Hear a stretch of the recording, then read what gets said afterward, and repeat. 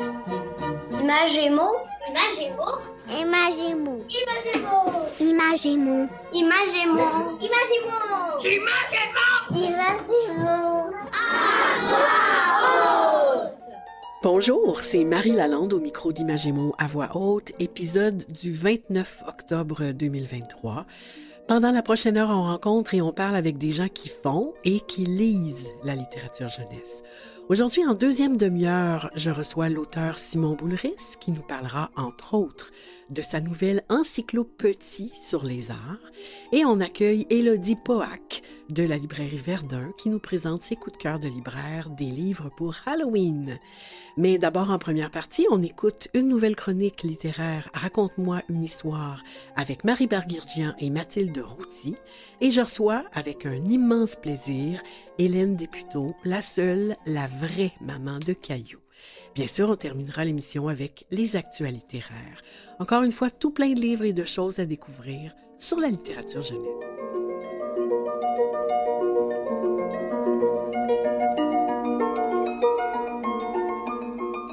Je m'appelle Raphaël, j'ai 8 ans.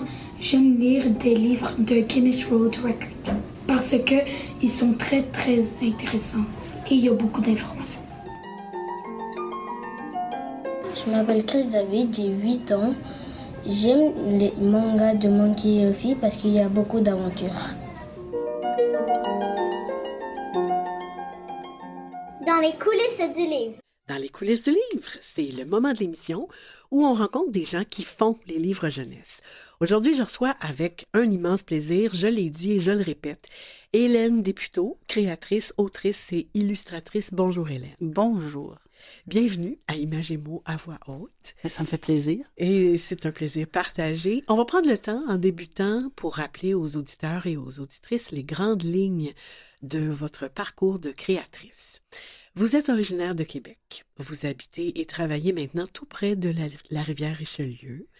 Vous avez obtenu un bac en arts visuels de l'Université Laval en 1981 et un autre en éducation en 1984 à l'UCAM. Alors, on est des collègues, parce que moi aussi j'ai eu ça, un bac en éducation de l'UCAM. Vous avez également une solide formation musicale. Vous avez appris le piano et vous avez été boursière de divers concours de musique au Canada. Votre carrière littéraire débute en 83. Vous célébrez donc cette année 40 ans de carrière. Oui, oui, oui. Oui, oui, oui, mais bravo, c'est quelque chose, 40 ans. Depuis ses débuts, donc vous avez illustré avec, euh, vous avez illustré plus d'une centaine de livres pour enfants, les vôtres, mais également des manuels scolaires, des albums d'autres auteurs jeunesse. Vous avez aussi conçu décors, marionnettes, pochettes de disques et cartes de souhait. Vous avez collaboré à la première mouture de la série Passe-Partout en illustrant des cahiers de chansons, des revues, des petits contes. Euh, et vous avez reçu plusieurs prix et honneurs. On va en mentionner quelques-uns, dont le prestigieux prix Monsieur Christie du meilleur livre canadien pour enfants en 94 pour Le Petit Pot et la Petite Sœur. Et l'année suivante, l'Association des diplômés de l'Université Laval a reconnu le rayonnement de votre œuvre en vous remettant la médaille Raymond Blais. En 2006, vous fondez Députo et Aubin Inc. avec votre partenaire de vie, Michel Aubin.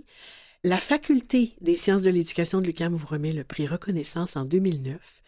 Pendant toute votre vie, Hélène, vous avez enchanté les tout-petits avec vos personnages forts, Caillou, sa famille, Mella et d'autres, avec leurs couleurs vives, votre, vive, votre style très personnel et reconnaissable, et vous le faites encore pour notre plus grand plaisir. J'aimerais savoir comment vous vous sentez, Hélène, après 40 ans de création. Tantôt, vous avez dit ouf. ben, en écoutant tout ça, parce que moi, je vais toujours de l'avant. Je, je vais jamais en arrière. Alors, je suis un peu étourdie. C'est euh, ça, cette vie. Hein? je suis un peu étourdie. Mais en même temps, ce que je suis le plus fière, c'est d'être encore là. Oui.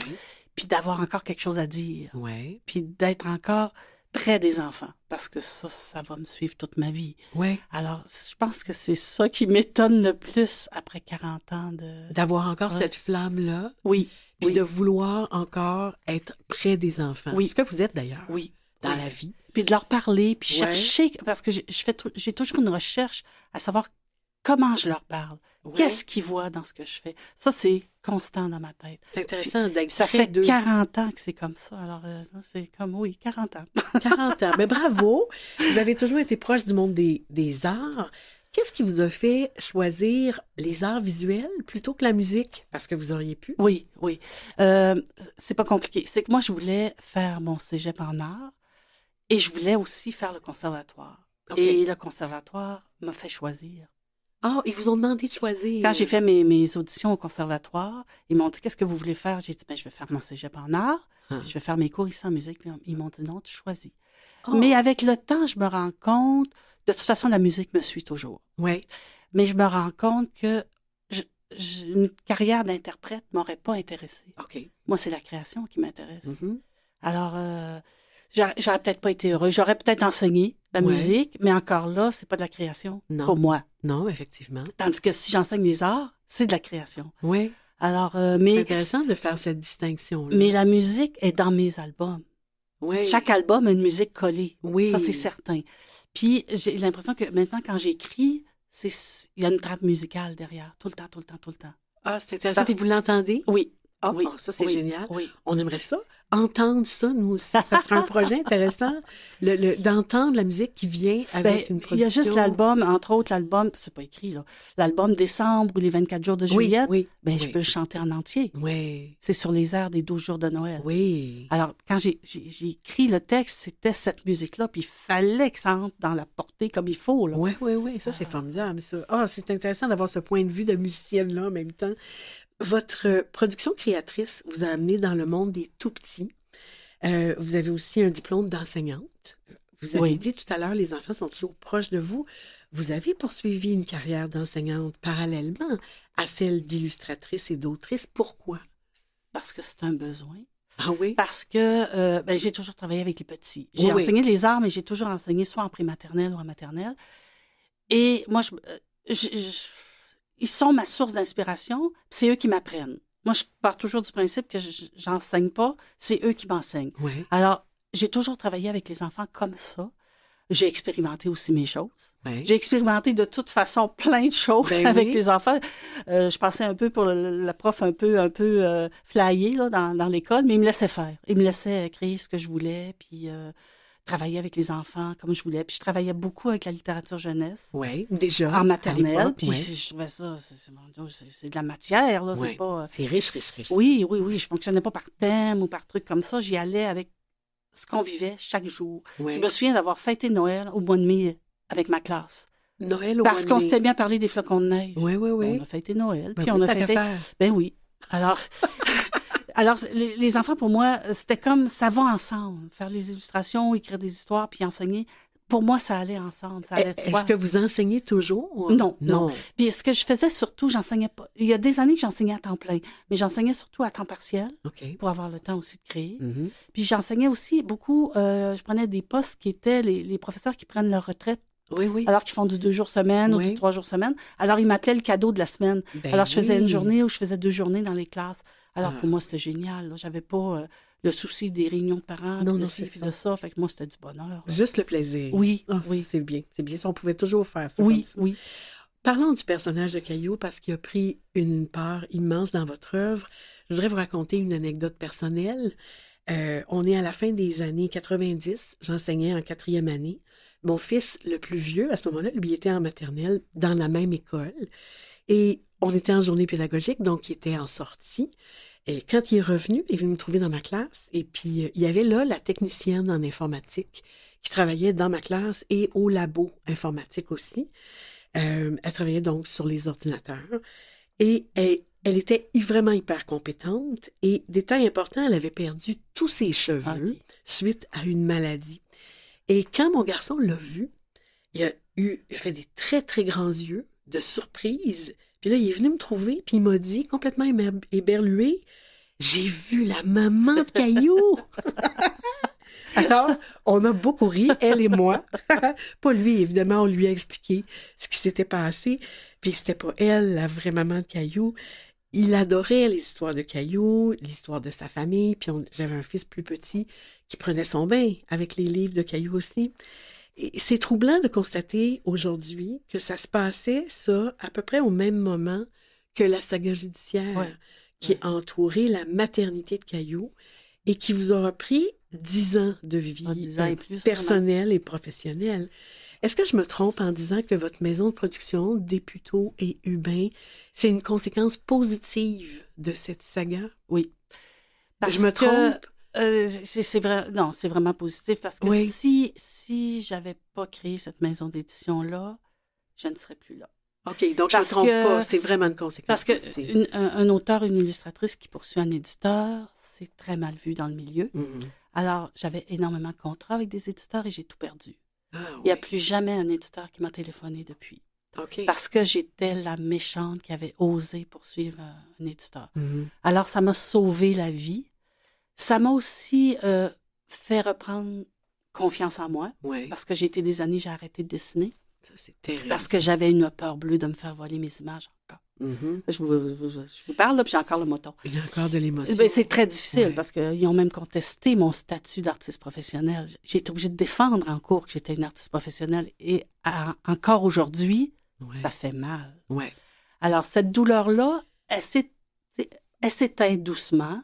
Elle revient de temps en temps. Je vais rester avec. Ouais. Mais l'important, c'est qu'avec Desputo puis Saubin, je crée mes choses à moi. Et donc, cette blessure-là, ça a changé quelque chose dans votre Oui. vie de créatrice? Oui, oui, oui. Ouais. Oui.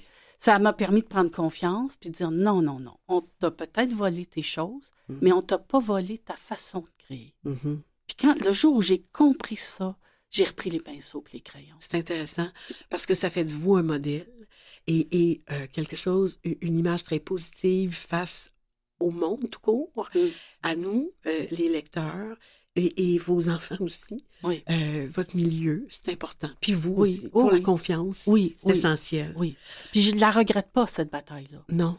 Je- Parce que je me disais, si je la fais pas, je pourrais plus me regarder dans le miroir. Mhm. Je la regrette pas. C'est super important. Michel Aubin et vous travaillez côte à côte Oui. dans le grenier atelier de votre maison. Comment vous travaillez, Hélène? C'est quoi les outils, les techniques que vous utilisez? Est-ce que vous avez une table à dessin, des pinceaux, des couleurs, des encres? Travaillez-vous à l'ordinateur? Je travaille avec une table à dessin à l'ancienne, est inclinée et tout. Euh, je travaille avec des crayons, des pinceaux, des encres, toujours. OK. Avec le temps, je suis obligée de changer un peu parce que les encres, ça commence à diminuer. J'en trouve plus. Ah, Il bon? faut vraiment que je les commande de loin puis tout ça. Ah, je savais pas ça. M- Mais euh, je travaille avec des crayons de couleur, des trucs comme ça. Mais ma technique reste la même. Je travaille l'encre comme je travaillerais de l'aquarelle. OK. L'ordinateur, j'ai le crayon. Oui. Ça fait deux ans que je le regarde. OK, d'accord. Ça m'intéresse pas. Pas? Ça m'intéresse pas. ça m'intéresse pas parce que je trouve ça trop formaté. Je j'aurais pas de plaisir. OK. Puis pas de plaisir, il n'y a pas d'album. Puis l'idée de quand on travaille à la main, on se trompe. Ah, c'est génial, ça, c'est génial. Ah, ça, parce qu'on rapporte. uti- on utilise l'erreur. OK. On utilise l'erreur. Euh, j'ai déjà échappé un, un verre d'eau complet sur mon image. Oh, Puis là, tu vois ce que ça fait. Tu, tu joues avec. Peut-être que ça fonctionne pas. Peut-être qu'il faut que tu recommences. Mais j'aime bien recommencer. OK, mais ça, c'est vraiment le vrai travail d'un créateur. C'est ce que vous êtes vraiment. Euh, vous avez illustré et publié tout récemment Ciao Ciao et la famille de Oui. soi, en collaboration avec Josiane Arsenault-Dubé. C'est une histoire à propos des liens qu'on tisse euh, de l'adoption. Qu'est-ce que vous pouvez nous en dire? Je l'ai, j'ai tellement aimé ce livre-là. C'est vraiment d'une C'est une beauté. belle histoire. C'est une belle histoire d'amour. C'est une belle histoire de création aussi. Parce que la petite fille, elle décide, elle veut des parents. Oui. Quel qu'il soit, elle veut des parents. Elle s'en tricote. Elle Oui. tricote. Elle invente C'est- euh, c'est génial. famille. Oui. Puis c'était tout un défi, cet album-là aussi, parce que je passais du bébé-livre Ouais. à un album, que ça faisait longtemps que j'en avais pas fait. Ça se passe en Chine. J'essayais que ça devienne intemporel aussi. Fait que je, puis je voulais pas que ce soit trop cliché. Alors, euh, non, j'ai travaillé beaucoup, beaucoup. C'est, je pense que c'est l'album qui m'a pris le plus de temps à faire. Ça, j'ai recommencé souvent. Oui, Parce, que, j'étais pas satisfaite, parce que c'était pas ça, parce que je le sentais pas. Puis, euh, non, c'est un- une belle histoire Et vous avez illustré les mots de quelqu'un d'autre Oui, dans Oui, ça aussi. oui. Un autre défi oui, aussi. oui. Mais Parce je- qu'elle a un univers, elle, dans sa tête, Oui, tout à qui fait. correspond, qui correspond peut-être pas au mien sur papier, mais je pense qu'on a eu des beaux échanges aussi, puis euh, euh, mais on a travaillé longtemps sur Ouais. cet album. Mais ça donne quelque chose de vraiment magnifique. C'est très, très, très beau. Euh, J'aimerais ça savoir sur quoi vous travaillez ces jours-ci. Qu'est-ce qui occupe C'est vos, vos journées? C'est fou sur ce que je fais. je travaille pour- sur des albums pour bébés, Oui. mais bébés, Bébé, bébé. bébés, bébés. Et j'ai j'ai l'impression de m'éclater complètement au niveau graphique. Ça m'obsède jour et nuit. j'ai des carnets, il faut que je note vite mon idée. C'est... Je travaille ma ligne autrement. C'est encore du Desputo, là, c'est mes couleurs, c'est Ouais. tout ça, mais c'est... Je joue avec la mise en page comme j'ai jamais fait. Puis j'arrive tellement... J'ai deux ans, puis j'ai un an dans ma tête quand je le fais. Parce que j'arrive à comprendre comment le petit va le voir. Le, oh, le percevoir. Oui, c'est fou là comment je travaille en ce moment là-dessus. là, puis j'ai un plaisir, mais un plaisir là. Puis les, les auditeurs peuvent pas voir ça, là, mais il y a Non. plein d'étincelles dans les yeux quand vous en parlez. C'est Tout formidable. ce que je pourrais dire, c'est que c'est pas un être humain. Ah bon? C'est le, le seul indice que je vais dire. Et, et, et on va pouvoir voir ça et, et profiter de ça. J'aimerais ça l'an prochain. J'aimerais ça l'an Donc prochain. en 2024. Oui, j'aimerais ça beaucoup. On croise les doigts pour que ça soit vrai. Si on vous en donnait le pouvoir, Hélène, qu'est-ce que vous voudriez améliorer dans le monde de la littérature jeunesse? Oh, beaucoup de choses. Ouais. un peu plus de créateurs qui ont du dessin, Qu'est-ce que vous voulez dire? de la ligne, du dessin. Moi, je- Ouais. je, je fais le mouvement avec mon bras, mais du Ouais. crayon, du crayon, du dessin, du dessin. Pas que j'aime pas du tout ce qui est fait à l'ordinateur, il y a des chefs-d'œuvre qui se font. Ouais. Mais je trouve qu'en ce moment, les livres se ressemblent beaucoup. OK. Ça, ça me dérange.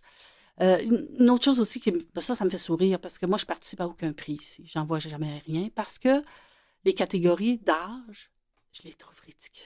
Pourquoi? 0-5 ans. Ouais. Un enfant d'un an et un enfant de 5 ans Pas la même chose. ne lit pas la même chose, Non, ne perçoit pas les albums de la même façon. tout à fait. Alors, quand je regarde souvent les choix, je- je- Non, bon, c'est déroutant, ça, c'est vrai. J'avais pas- jamais pensé à ça. je- je- il n'y a jamais, jamais la catégorie des tout Tout petits, comme si c'était pas important. Ouais. Puis c'est très important. Ben oui, parce que c'est la base. C'est la base. Si on veut commence. oui, si on veut que les enfants lisent plus tard, il y a quelque chose, il y a Ouais. une base qui à se faire. installer, tout à fait. Mais vous le faites très bien. Hélène, c'est la tradition à Imaginez-moi à voix haute. On invite les invités à nous proposer un de leurs coups de cœur littéraires jeunesse. En terminant, est-ce que vous avez une suggestion pour Oui, nous? oui, oui. Deux choses. Deux choses. Tout sans paix. Tout Avec- sans paix, oui. Avec le petit Nicolas, bien sûr, parce que je, bon, les textes de Goscinny sont fabuleux, mais les illustrations de Sampé, c'est de la folie. Oui. C'est des heures de plaisir à regarder. Tout sans paix. Puis un autre album, ça, c'est surtout pour les, les, enseignants, les enseignants qui travaillent avec la littérature jeunesse. Oui. C'est Léonie dévore les livres, chez Casterman, Laurence Herbert et Frédéric Dubus, parce que c'est fou. C'est une histoire ludique, c'est une histoire de rimée en entier, Oui. avec un rythme dans le- les phrases qui sont extraordinaires. Alors, le lire à haute voix, jouer avec les mots, jouer avec la ponctuation, avec les intonations, c'est un livre extraordinaire. Donc, spécifiquement pour les enseignants, oui, on va répéter Léonie, Léonie dévore, les, les livres, livres. chez Casterman. chez Casterman, Et c'est de... Laurence Herbert et Frédéric Dubus. D'accord. Les auditeurs vont pouvoir trouver ça sur le site de l'émission. Je vous remercie, Hélène Députot. Ça me fait plaisir. C'est déjà tout. Merci pour votre persévérance, pour votre, la tendresse et la gaieté qu'on retrouve dans vos livres. Longue vie à vos personnages et au pouvoir de la création. Au grand plaisir. Ben, Merci. merci beaucoup.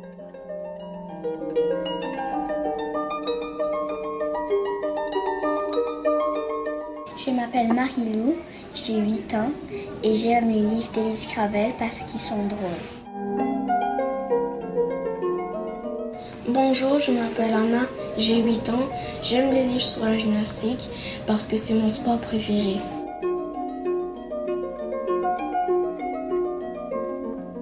Je m'appelle Mathilde, j'ai 8 ans. J'aime lire des livres de, de la série Mortel Adèle parce que c'est drôle.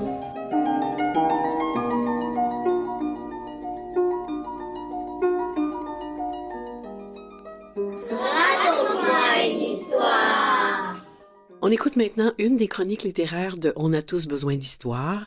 Marie Barguirdian et Mathilde Routy nous font découvrir l'album Bibliobus d'Inga Mort, publié chez Pastel. Un merveilleux album à propos de la contagion de ce plaisir, la lecture pour soi et le partage de la lecture. On écoute.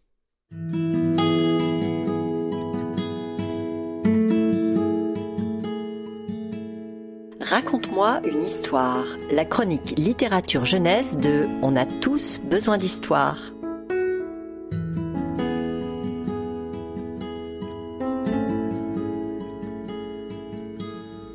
Voici un conte animalier d'une grande beauté aux illustrations vibrantes et poétiques, faites à l'aquarelle et à la plume par l'une des plus grandes illustratrices anglo-australiennes, Inga Moore. Elle a entre autres illustré le fameux Vent dans les saules de Kenneth Graham.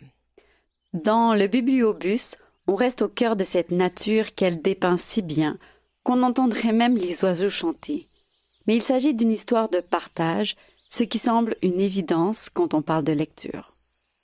Elan, le personnage principal, habite dans la forêt avec sa famille et c'est un formidable raconteur d'histoires.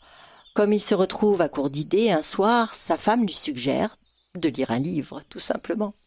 Mais il n'en a pas et aucun de ses voisins n'a de livre à lui prêter. Il se rend donc à la bibliothèque.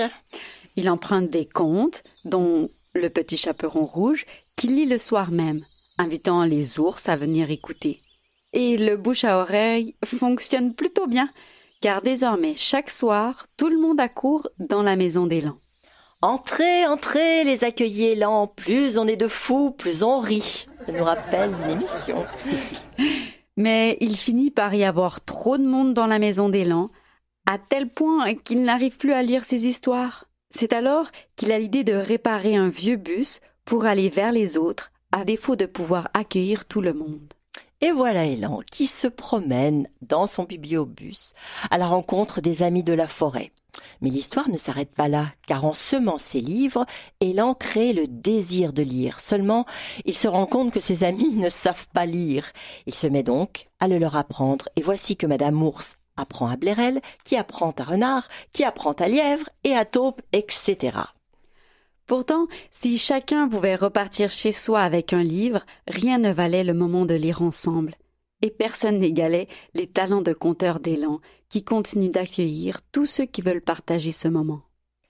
Cet album, dédié aux bibliothécaires, dit bien la différence entre raconter des histoires et se mettre à lire un livre soi-même. Deux plaisirs différents, mais deux plaisirs de partage. Et cet album dit bien l'importance, la nécessité même du partage. Et que dire des illustrations dont on a déjà vanté la beauté? Dans la belle et généreuse nature dépeinte par Ingamore, on apprécie la chaleur, les expressions, les délectations des livres, l'écoute, la passion, l'évasion, oui. On lit tout ça dans les pages du bibliobus. Chacune des pages de cet album mérite vraiment qu'on s'y attarde, qu'on s'y promène, car il y a un véritable jeu de lecture d'images. Inga Moore arrive à créer avec les animaux un monde parallèle au nôtre, et ces milliers de petites griffures à l'encre donnent du volume aux attitudes, au corps, aux buissons, dans des teintes tout en nuances. J'ajouterai enfin que cet album montre que c'est d'abord en famille que se passe l'élan de la lecture, pour ensuite donner la contagion aux autres. Profitons-en pour saluer toutes les bibliothécaires et tous ceux et celles qui provoquent ces partages, comme par exemple la caravane littéraire de Catherine Lapointe qui parcourt des kilomètres. Alors rappelons le titre de ce livre, Le Bibliobus d'Ingamore, et c'est publié aux éditions Pastel. Approchez, approchez, mesdames et messieurs, car aujourd'hui, grande vente aux enchères. Dans quelques instants, mes deux jeunes apprentis saltabanques vont vous présentationner des mots. Un mot pour tous, tous pour un mot. Un mot pour tous, tous pour un mot. Des gros mots pour les grossistes. Des mots de tête pour les charlatans. Des jeux de mots pour les artistes. Des mots d'amour pour les amants. Des mots d'amour pour les copieurs. Des mots pour mots pour les cafeteurs. Des mots savants pour les emmerdeurs. Des mobilettes pour les voleurs. Aujourd'hui, grande vente aux enchères.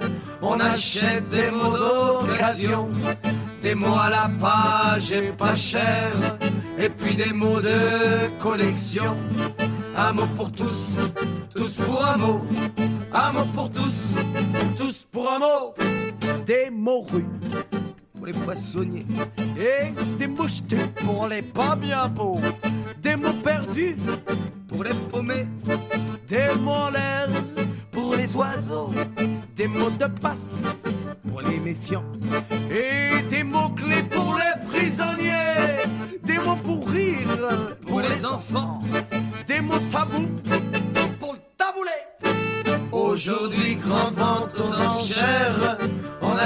des mots d'occasion, des mots à la page et pas cher, et puis des mots de collection. Un mot pour tous, tous pour un mot, un mot pour tous, tous pour un mot. Des mots croisés pour les retraités et des petits mots pour les béguins. Des mots d'ordre pour les ordonnés, des mots fléchés pour les Indiens, des momies pour les pyramides, des demi-mots pour les demi-pensions, des mots courants pour les rapides, et le mot de la fin pour la chanson.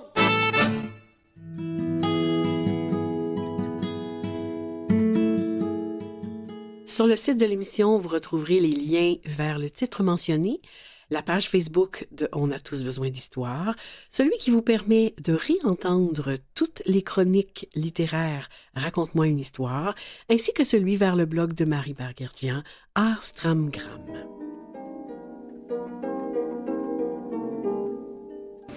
Je m'appelle Ilias, j'ai 8 ans, j'aime lire les mangas Yokai Watch parce que les monstres sont mignons.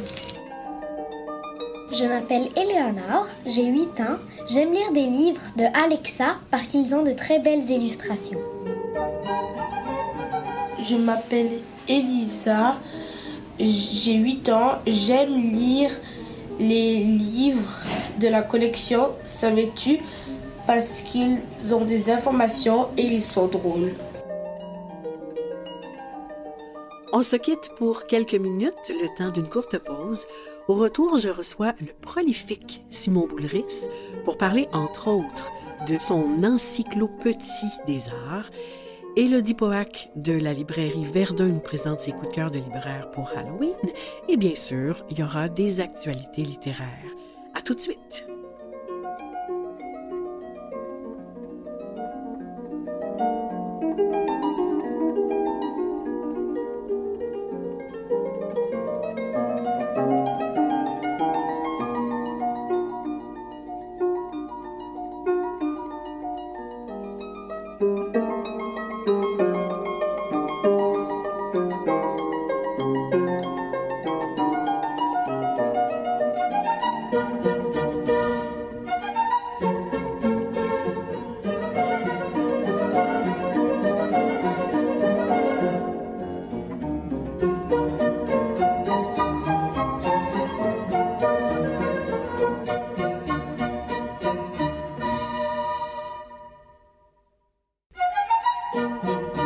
Bienvenue en deuxième partie d'Images et mots à voix haute.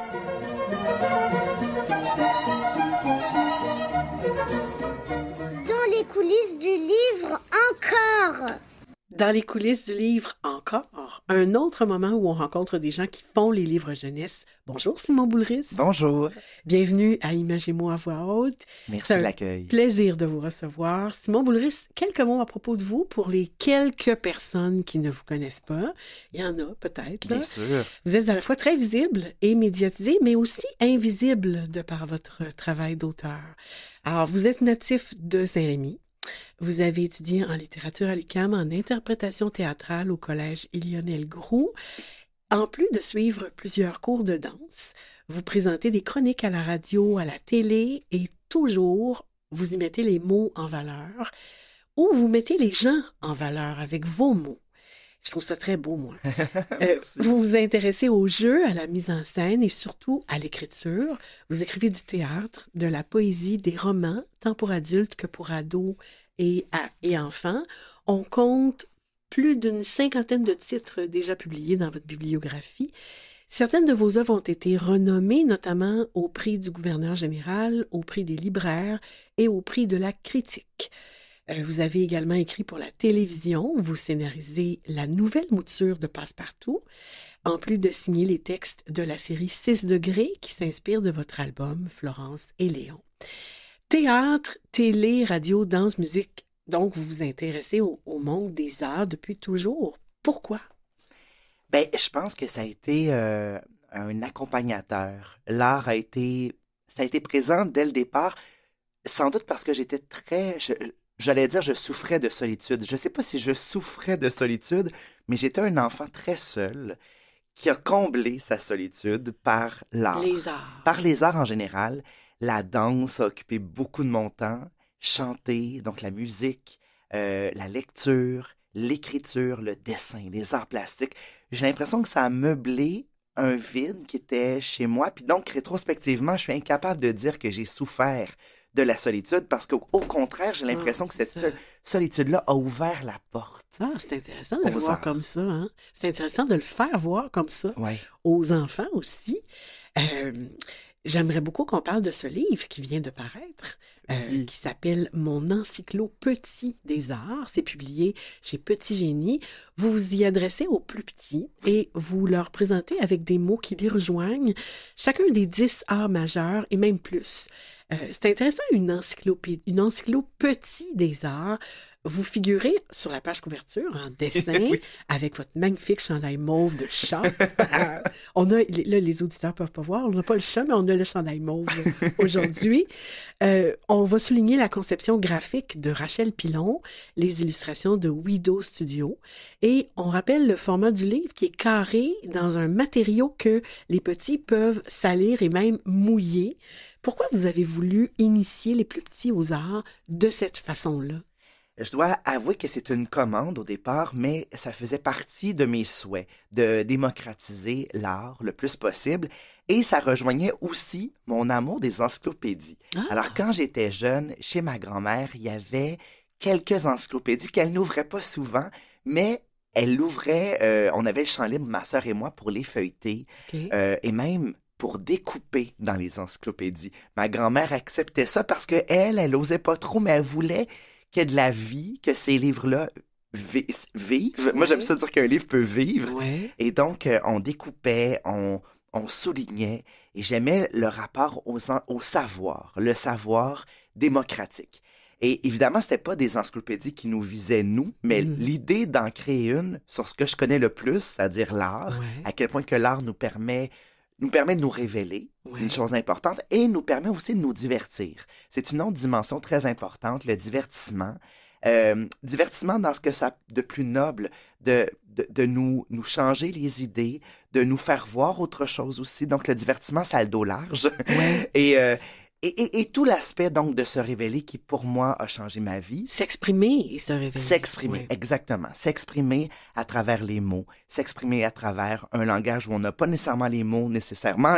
Je pense La danse, par la exemple. danse qui est une qui, est une façon pour moi de, de, de se révéler qui est présente depuis que je suis tout petit. Je pense qu'avant même de trouver les mots, juste marquer le tempo avec son corps et tous les enfants le font. Hein? Ouais. C'est pour ça que je dis que l'art est partout autour de nous.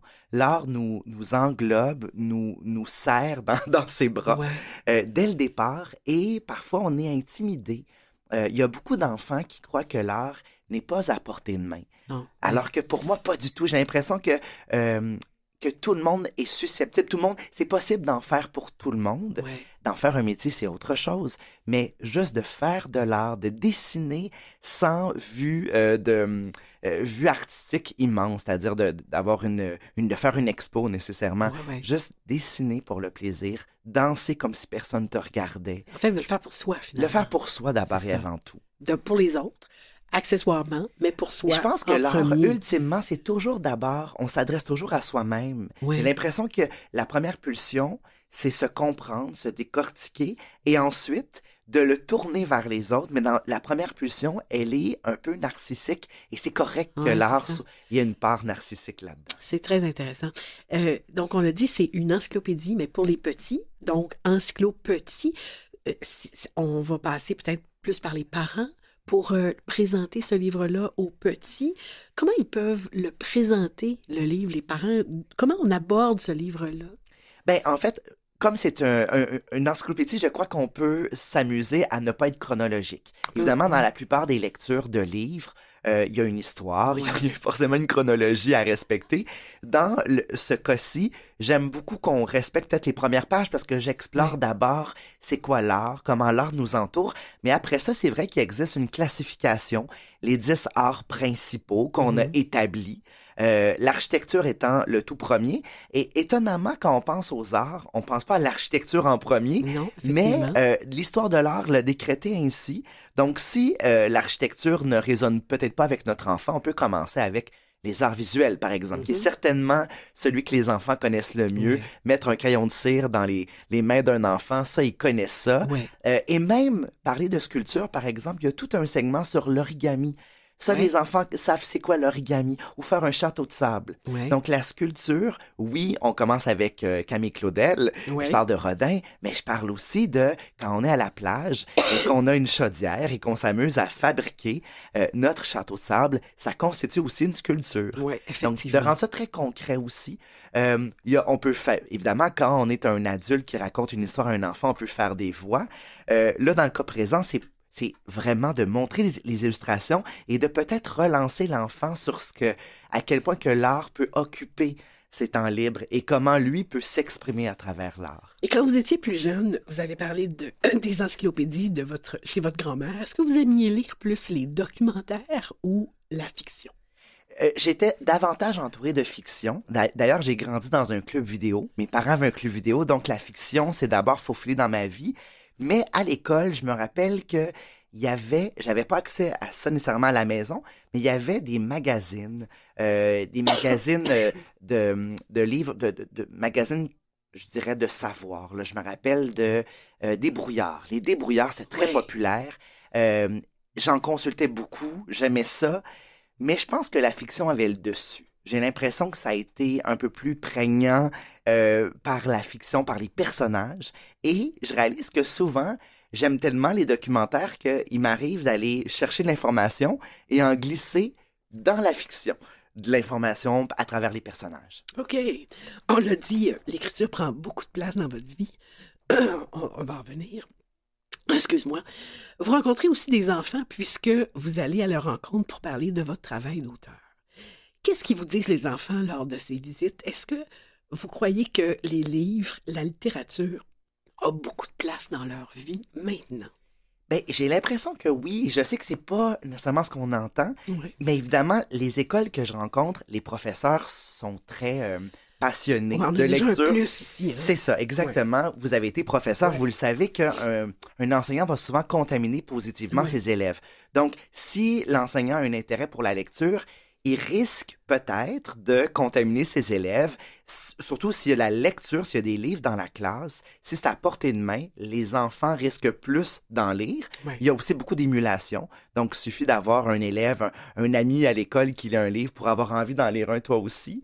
Euh, et j'ai l'impression que quand je vais dans les écoles, ben, je suis attendu. C'est-à-dire que j'ai été lu Ouais. en amont, les enseignants ont parlé de moi, euh, et il y a un réel intérêt de la part des élèves. Et aussi, ça m'arrive également, de plus en plus, je dirais, d'avoir des enfants qui ont qui avaient à la maison des livres euh, de mon cru et, qui, oui. et donc ils me réclament une signature, un autographe euh, dans leur livre personnel. Oui, oui, il y a quelque ça a un sens. Ça a un sens, ma Ouais. présence a un sens encore plus grand pour cet enfant-là. Je dirais que ça m'arrive dans chacune des classes. Il y a toujours un ou deux élèves qui avaient déjà des livres de moi à la maison. Que le travail d'auteur soit reconnu, Exactement. Et, et aussi d'a- d'avoir cette rencontre-là, d'avoir une photographie ou une petite, un signet avec ma signature. Quelque pour, euh, chose de personnel. Exactement, Ouais. pour qu'on s'en souvienne. Est-ce que vous auriez fait un bon enseignant, Simon Boulris?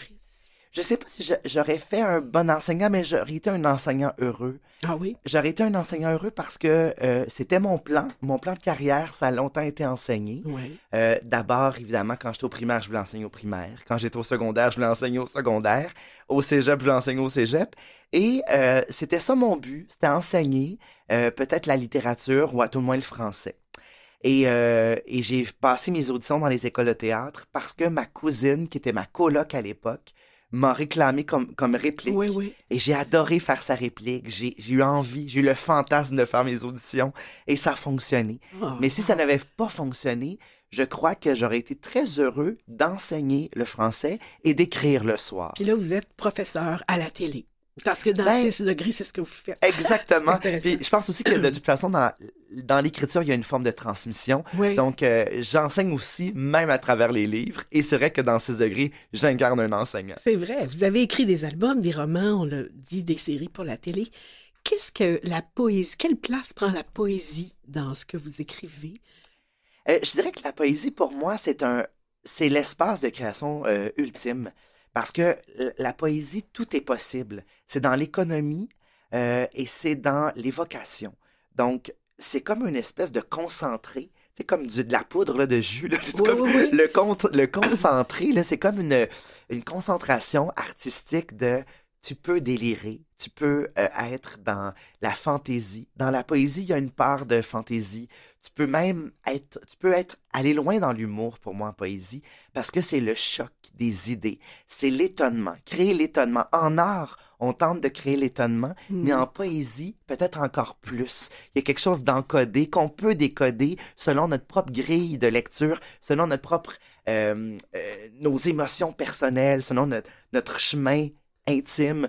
Donc, il y a Donc, quelque- encore une fois, c'est une révélation aussi. encore une fois, il y a une part de révélation, mais pour moi, c'est l'ultime euh, création qu'il n'y a pas, je pense. Oh, wow.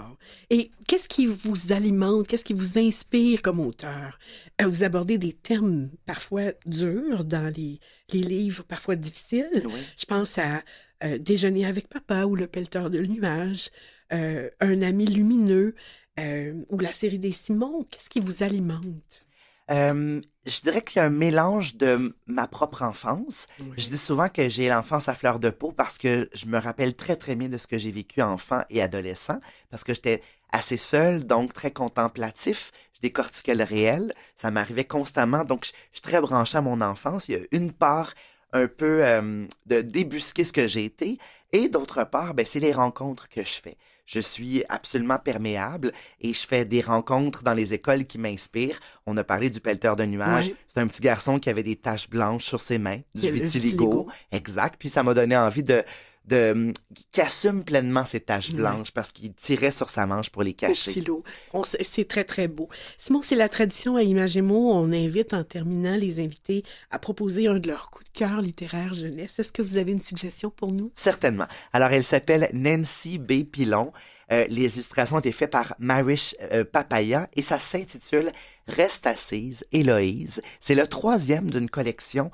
Et ce que j'aime beaucoup de Nancy B. Pilon, c'est qu'elle est euh, elle-même une enseignante. Elle enseigne dans une école avec des euh, où les élèves sont polyhandicapés. OK. Et donc, euh, j'ai visité à quelques reprises sa classe. C'est une classe tellement inspirante et d'ailleurs, elle s'en inspire pour ses personnages. Et celui-ci, donc, elle est en chaise roulante, Héloïse, et elle doit changer d'école, une école qui est peut-être un peu plus près de là où elle vit. Et donc, elle doit abandonner ses amis.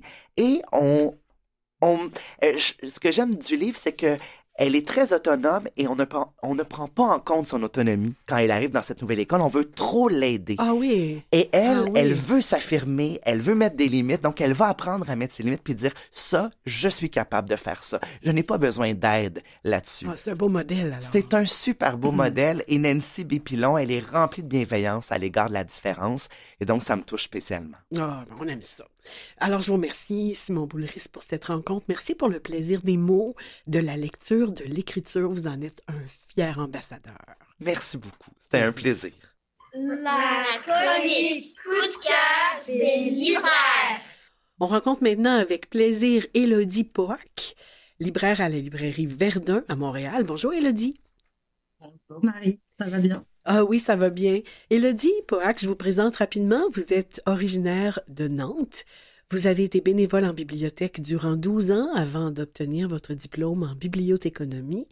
Vous avez exercé cinq ans en France, d'abord dans une bibliothèque axée autour de l'accessibilité, handicap et numérique, avant d'y travailler en tant que bibliothécaire jeunesse.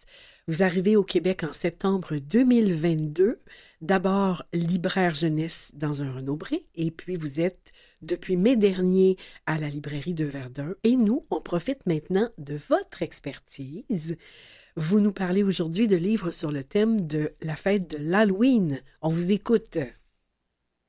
Oui, forcément, la période est propice. Et puis, euh, c'est les monstres, c'est quelque chose qui est censé faire peur et en même temps, on aime bien. Euh, aujourd'hui, je vais parler surtout monstres et cuisine. Oui, oui, les deux peuvent se faire ensemble. Euh, on le remarque souvent d'ailleurs. Euh, la question, c'est souvent est-ce que l'ogre va manger Jack? Est-ce que le grand méchant loup va manger le petit chaperon rouge? Et donc aujourd'hui, on va parler de livres et de cuisine. Good. le premier dont je vais parler, c'est Le Festin des Affreux de Xavier Salomon et Méric Stelmarty. L'histoire est simple, c'est vous prenez les neuf personnages les plus effrayants qui soient, mais vraiment ceux qui vous font le plus peur.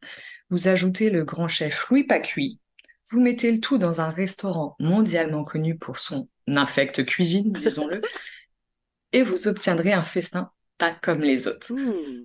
Le principe du livre, c'est de soulever les cloches pour découvrir le menu concocté pour chaque monstre, et le tout au fil des pages.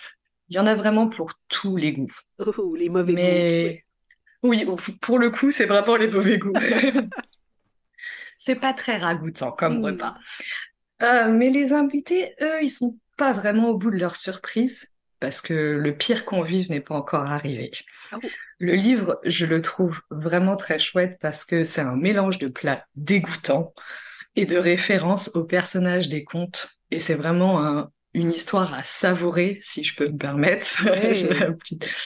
Euh, c'est vraiment quelque chose que je conseille pour les petits euh, à partir de 4 ans parce que c'est c'est vraiment euh, la question de la cuisine, c'est vraiment la question de de d'apprécier et de découvrir les références au conte puisque bien sûr comme on s'imagine bien toutes les tous les menus sont constitués de petits biquets de têtes de pharaon et autres joyeuses euh, nourritures et euh, et c'est vraiment une manière d'entrer dans les contes euh, de manière très très drôle et très ludique et c'est vraiment quelque chose que je conseille ouais dès le premier cycle euh, sans aucun souci. D'accord. Pour rester dans le thème d'ailleurs, je vais parler du deuxième titre parce que celui-ci, euh, Le Festin des Affreux, c'est vraiment un regroupement. Là, on se concentre plus euh, dans le dans celui-ci, dans l'album Boucle Bleue. Alors, tous les parents connaissent la version originale du conte de Barbe Bleue. Ouais. L'histoire, elle est pas très acc- accessible pour les plus jeunes. Faut quand même avouer qu'il est assez horrifiant. Mhm. On reste dans le thème de l'Halloween, ceci Oui, évidemment. Mais euh, là, euh, le livre de Olivier Dupin et Florence Bégu, il est vraiment très chouette parce que c'est une vraie version euh, détournée. Déjà, la couverture, elle est très parlante. Elle, bon, ça, ça sent pas bon quand on voit la couverture, vraiment. Et, et dans l'album, Claude, qui est surnommé Bouc Bleu, euh, semble vouloir, comme dans l'original, euh, tenir une porte fermée. Sa nouvelle épouse, Amandine, veut comprendre pourquoi les précédentes épouses ont toutes disparu. Et je, je ne raconte pas la suite parce que c'est vraiment, c'est vraiment le surprise. principe, c'est Oui, vraiment oui. la surprise. La surprise, elle est vraiment là. Euh, les illustrations dans l'histoire, elles sont vraiment très réussies, c'est très attrayant pour les yeux. Euh, c'est vraiment aussi, ouais, le, comme je disais, le plaisir de découvrir une version détournée des contes, d'un conte qui est pas le plus accessible et, et le plus connu finalement, parce que souvent, quand on pense conte, on pense euh, le, les- le petit chaperon Les plus rouge, on pense trois. C'est ça, les plus populaires. Euh, même parfois, on pense euh, bah, Blanche-Neige et les sept nains, mais euh, Bou- Boucle Barbe Bleue, c'est pas celui qui est le plus connu. Donc, cette interprétation, elle est vraiment drôle, elle est parfaite pour euh, 3-6 ans parce que euh, les références, il y a plein de niveaux de lecture. Et, euh, et petit bonus, euh, gros avis favorable pour les amateurs de fromage, mais Ah vous bon? comprendrez à la lecture. À la lecture. On a le temps À pour un- un- une troisième suggestion? Oui, je pense. Je Oui. sais pas. C'est toi qui me dis. Oui, oui, il nous reste dernier- deux minutes. le- Ouais. J'ai un autre pour rester euh, cette fois-ci dans le thème des deux albums précédents. C'est euh, la question du pop-up à l'intérieur des méchants. Donc, si vous voulez enfin découvrir ce qui se passe à la fois dans leur tête, mais surtout dans le ventre des méchants, euh, il faut, il faut se procurer ce, ce bijou. Il est très différent par son format. Il est très très très grand, euh, mais une fois ouvert, c'est vraiment un petit bijou. On fait la rencontre du grand méchant loup, de la sorcière et de l'ogre, qui sont souvent quand même des monstres euh, Connus. très connus. Oui. Et on découvre ce qu'ils mangent à la cantine. On découvre aussi par une petite description sur une page, euh, une description rapide, leurs points forts et leurs faiblesses. Mais c'est surtout le plaisir de pouvoir ouvrir les flaps, de pouvoir ouvrir tous les petits volets pour découvrir euh, plein de références à plein de références aux contes dans lesquels euh, ces grands méchants apparaissent. C'est vraiment un plaisir à la fois pour les yeux et pour les oreilles parce que quand on le raconte, c'est très très court les descriptions, mais il fourmille de détails. C'est vraiment euh, c'est vraiment un petit bijou qui est qui est très utilisable à la fois en tant que parent ou à la fois dans le cadre d'une d'une animation en bibliothèque. C'est vraiment quelque chose Ouais. que c'est vraiment un que j'aime beaucoup, ce pop-up de, de Clotilde Perrin qui est paru chez Seuil. C'est vraiment euh, Super. un de mes petits favoris. Alors, vous nous aviez euh, fait une liste de plusieurs ouvrages qu'on mettra sur le site de l'émission. Les auditeurs, donc, pourront retrouver tout ça. Je vous remercie beaucoup, beaucoup, Héloïse, et euh, au plaisir d'une prochaine rencontre. Merci. Merci. Bonne journée. Bonne Bye. journée. Les actuels littéraires. Encore des idées de lecture et de sorties littéraires. Pour tous les liens, c'est sur le site de l'émission. Dimanche prochain, le 5 novembre, à Marie raconte, je lis Lou, un héros pas comme les autres, de Lucy Rowland et Ben Mental, des éditions Circonflexe. Lou sait lire et voudrait être un héros comme ceux des livres qu'il lit. Mais même s'il n'est ni fort, ni beau, ni puissant, Lou saura se montrer attentif, gentil et intelligent. Une histoire qui met en avant des valeurs et des qualités propres aux héros d'aujourd'hui. On en écoute un extrait. Le petit lutin, remis de ses émotions, se tient debout, étant un crayon et des feuilles de papier à Lou. Pourquoi? Peut-être qu'il veut lui faire signer un autographe? Mais non, tu te souviens, c'est vrai que tout à l'heure, Madame Collard, la bibliothécaire, lui a dit qu'avec un stylo et du papier, il pourrait écrire l'histoire qu'il voudrait lire. Derrière eux, debout sur le petit tapis rond et bleu à l'entrée de la bibliothèque, on voit les autres personnages. La chevaleresse, ses mains gantées et jointes, son cheval, le bûcheron, sa hache sur l'épaule, et Madame Collard, sa pile de livres dans les bras. Tous, il sourit en regardant la scène et Lou. Il a levé ses pattes, l'une vers lui, l'air de se dire Moi, vraiment Du 2 au 5 novembre, c'est le Salon du livre de Rimouski, au centre des congrès de l'hôtel Rimouski. Samedi 5 et dimanche 5 novembre se tiendra la 30e édition du Salon du livre de la Côte du Sud à la Maison de la Culture La Vigie, au 260 rue Caron, à Saint-Jean-Port-Joli. L'entrée est gratuite. Le samedi, l'autrice Marie-Claude Ouellette proposera un conte familial interactif, Fabula et les plus belles étoiles. Petits et grands pourront participer à l'activité en enfilant des costumes qui leur seront prêtés. Des activités pour enfants auront lieu pendant toute la durée du salon.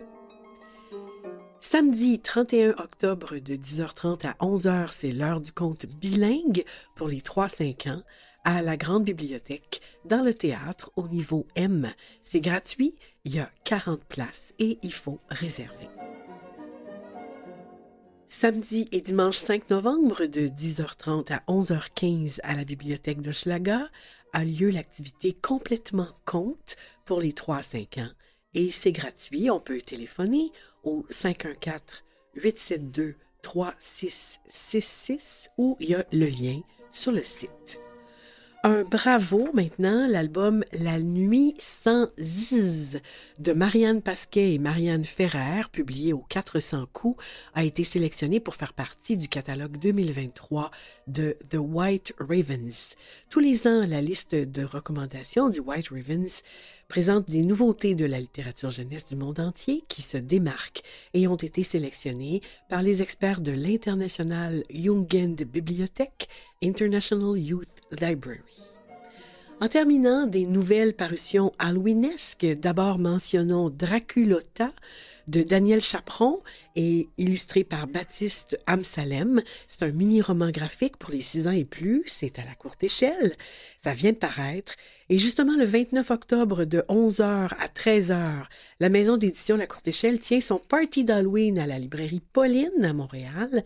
Les jeunes lecteurs amateurs de petites et grandes frayeurs pourront y rencontrer les deux créateurs de Draculota, Daniel Chaperon et Baptiste Amsalem, de même que Caroline Merola pour son album Histoire fantastique et peut-être vrai, les illustrateurs Cab et Martin Côté qui ont mis en image les deux plus récents tomes de la collection noire, Le cinéma de l'horreur et Le manoir Hillcrest.